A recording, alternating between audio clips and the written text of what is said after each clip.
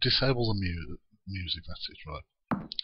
Now this is a quick, uh, a quick video. I seem to have found some kind of glitch in Cubicity.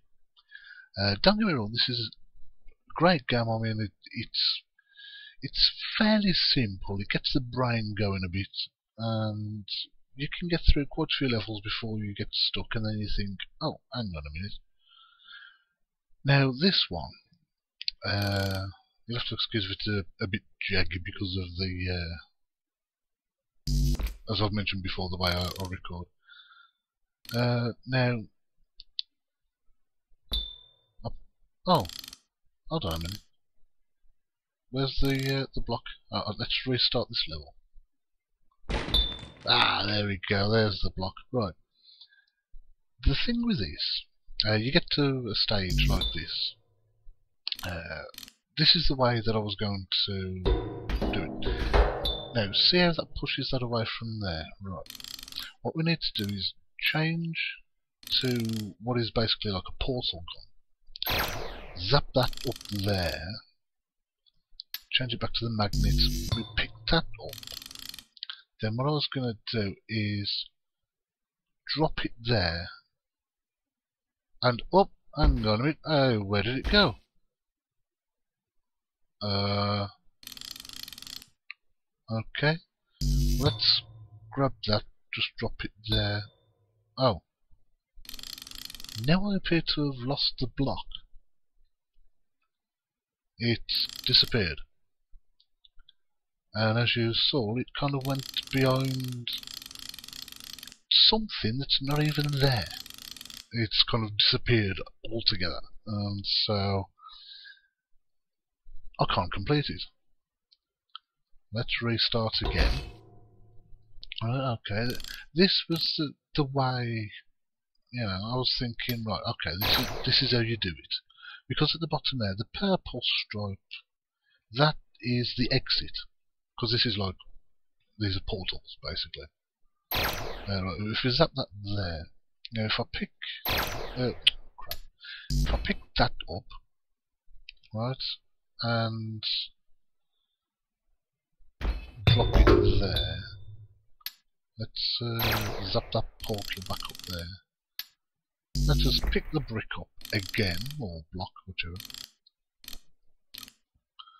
Then drop it there. Whoop. There we go, it's done it this time. But that can be a bit of a problem when uh, it's the, it's the second time that it's done that where I've basically tried to solve the puzzle and then it's like just disappeared beyond this invisible wall or an invisible portal or something. So uh, don't get me wrong, it's a, it is a good game. I mean, this is this is quite a way into it. This is like about the, I don't know, 30th level or something like that. Um, but it does tend to uh, have a little glitch in it there. Uh, this one should be pretty easy. I mean, some of the levels, I will, you know, they're, they're pretty easy, really. You know, you, you put that there and you think, right, how do I pick this one up? That's a block you can't pick up. Uh, so, what you're probably best doing is not that.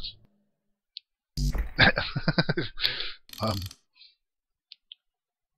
you can pick up two at the same time, so don't, don't worry about it. What you pretty much need to do is use that block to push that block. See how it works.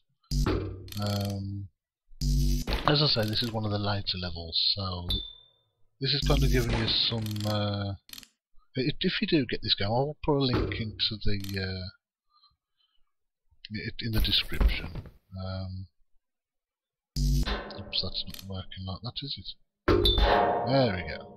Push that, that drops and bump into the box there. So uh, as it is now, that seems to be working fine, but there's just that little glitch that uh, it, it can um,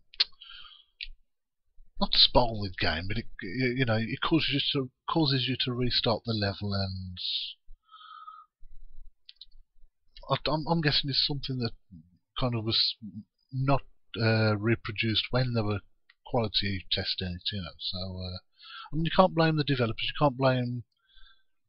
I think there was the one guy who was a beta tester or something like that. You can't blame him. It, maybe they didn't encounter that problem, but but the problem's there anyway. Uh, so that's all for now. Uh, I will do a, a, proper video of this. Uh, you know, from the start, showing how to go through the levels and that. There's the one level that's a bit of a pain. I'm not quite sure if it's the right way to do it. I did manage to do it, but um, anyway, thanks for watching, and uh, see you next time.